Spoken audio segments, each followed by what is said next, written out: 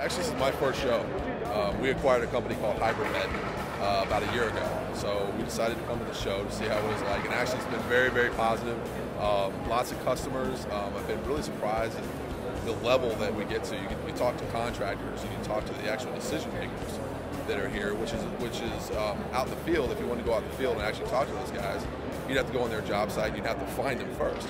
So that's uh, the benefit to me is actually coming here and actually seeing those customers, um, you know, firsthand. So the decision makers and, and actually. Uh, on top of that, I get a lot of feedback. There's a big uh, law right now called the RRP law, and a lot of these guys have uh, ground level uh, information that I need that I certainly can't get over the phone.